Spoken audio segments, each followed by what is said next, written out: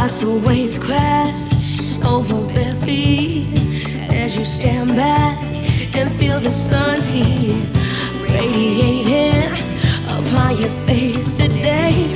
Summer's alive, that's why